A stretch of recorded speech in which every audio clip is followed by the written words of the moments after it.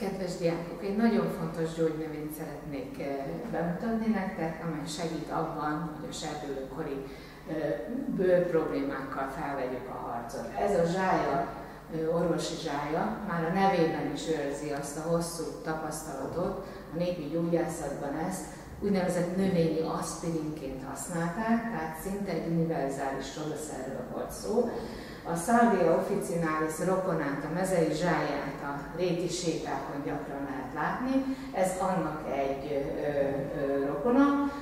Ö, hatóanyagaiban rendkívül jó hatású, külsőleg és belsőleg is lehet használni. Maga a növény egy középmagas, nagyon szép kékvirágú növény, levelei kicsit zöldes, szürkés-zöldes színűek, és nagyon jó hatása van a bőre, idősebb bőre a vérbőségfokozó hatása, ami a sápadságot szünteti, minket most itt a fiatalkorú bőre gyakorolt hatása érdekel, ez pedig összehúzó, vérbőségjavító, és a legfontosabb a fertőtlenítő és a frissítő hatás. Éppen ezért kozmetikai célra is felhasználható, az úgynevezett tisztátalan bőre, azaz a pattanásos aknés bőre használva nagyon jó hatást lehet belőle elérni. Ezt a gyógynövényt szárított, morzsolt formában a herbáliában lehet megvásárolni. Ö, nagyobb darabos ö, szárított, morzsolt levelei a drogok, ebben található nagy mennyiségben a hatóanyag. Egyébként nagyon, nagyon kellemes illata is van, tehát biztos, hogy ez senkinek nem fog gondot jelenteni.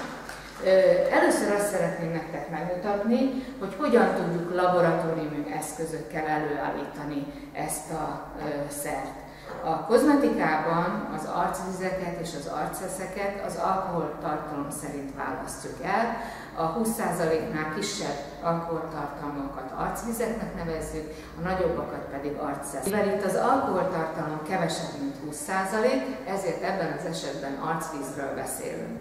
Hogyha fogunk egy mérőhengert, és ebbe beleöntünk 20 köbcenti 70%-os etilalkoholt, ez lesz az oldatóknak az alkoholos része. A 70%-os etilalkoholt gyógyszertárba lehet megvásárolni. Ebből tehát 20 köbcentimétert öntök bele egy főzőpohárba.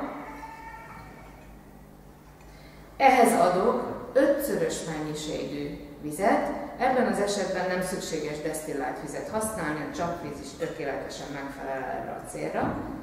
Tehát ebben a mérőhengerben kétszer kell kimérnem a 100 köbcentit,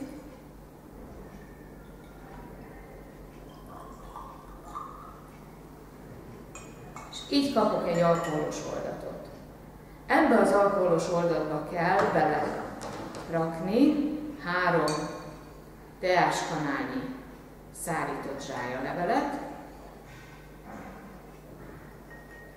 Mivel ez ilyen házi használatra készül, annyira nem kell pontosan dolgozni benne, és ezt összekeverve, mivel ez szárított levél, magas a levegőtartalma és a felülete, a kis levélszőrőbe levegő szorul bele, ezért kicsit nehezebb elkeverni. Már látható, hogy megszínezi az alkoholos oldatot. Ezt a keveréket öntöm bele egy csiszoldugós Erlenmeyer lombikba. Itt a dugó azt a célt szolgálja, hogy befedjük vele az oldatot, hiszen ezt a keveréket három-négy napon keresztül időnként összekeverve eltesszük, hagyjuk, hogy kioldódjanak belőle a hatóanyagok. Naponta egyszer-kétszer megpörgetjük, meg hogy az alkohol és a víz együttesen elvégezze a dolgát. De gondolom, háztartásokban nem feltétlenül vagyunk ellátva ilyen laboratóriumi eszközökkel. Nézzük meg, hogy hogyan tudjuk ezt otthoni körülmények között megcsinálni. Ö, a legtöbb háztartásban valószínűleg akad pálinkás pohár, és hogyha ebben a pálinkás pohárban arányaiban körülbelül megjegyezzük, kimérjük alkoholt, beleöntjük egy zárható üvegbe, ehhez tesszük hozzá az ötszörös mennyiségű, szintén 5 pohárnyi vizet, majd hozzárakjuk a három kanálnyi zsájalevelet, és tulajdonképpen összezárva szépen eltesszük ugyanúgy, hogy dolgozzon.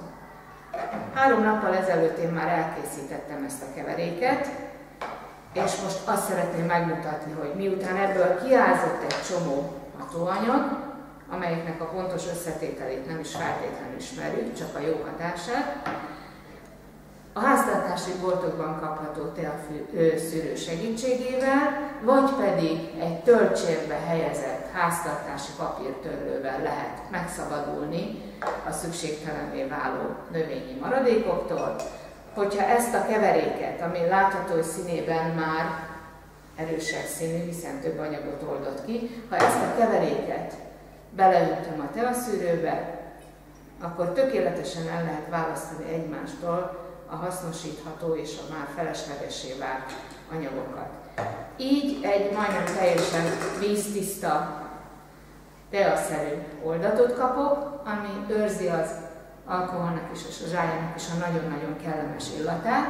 Ezt belerakhatjuk valamilyen kis kozmetikai flakonba, vagy egy gyógyszertárban vásárolt kis üvegbe, és a felhasználásáról annyit érdemes tudni, hogy esténként az esti tisztálkodás után vattapamacsra öntünk belőle, és különösen a zsírosodásra hajlamos homloktájékot, az orr mentén és a száj alatti területet dörzsöljük át, gyengéden dörzsöljük át vele. Ezt tulajdonképpen rendszeres használattal nagyon jó állapotba tudja hozni a bőrt, és hogyha ehhez még az ember megtartóztatja magát, és nem is kapirgálja a pattanásait, akkor biztos, hogy sokkal szebb állapotban található a bőr.